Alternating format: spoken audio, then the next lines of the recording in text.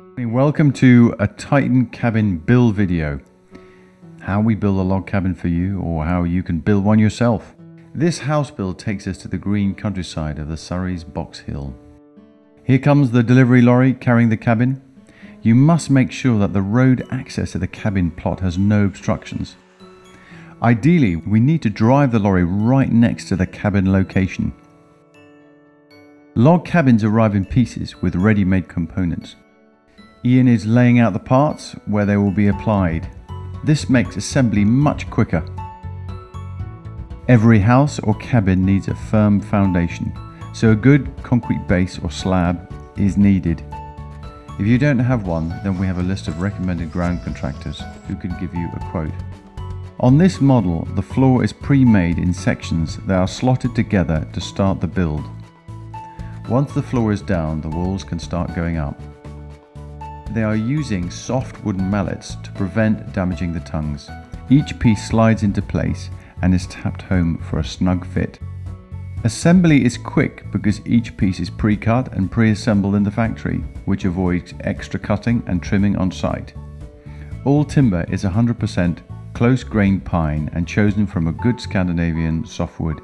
It's kiln dried to 28% moisture content, which gives excellent stability.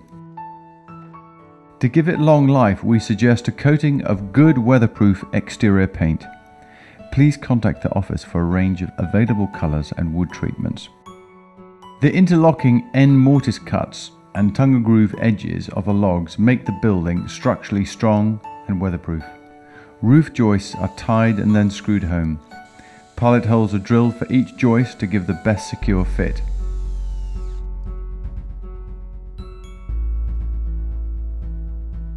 Here are the eaves going up which will provide a nice overhang for some external shelter. This particular building will be used for a meeting room at this outdoor pursuit centre. Whatever the size or shape, we can bespoke the building to your needs here the guys return for the second day to do the roofing. Roof boards are provided in pieces for ease of working at height. When nailing the roof cladding, make sure the tongue and groove is tight to the previous groove. Timber does shrink and we don't want gaps. Clamp it in tight, by hand and then nail it home. Take caution when working at heights. This job will be easier with two people. The time to assemble this for DIY builders is around about 3 to 4 days depending on experience. When you reach the end of nailing the roof section, the last board is cut to suit. When measuring the roof felt, roll out the felt on the roof or measure it on the ground, then cut it and nail it with tacks.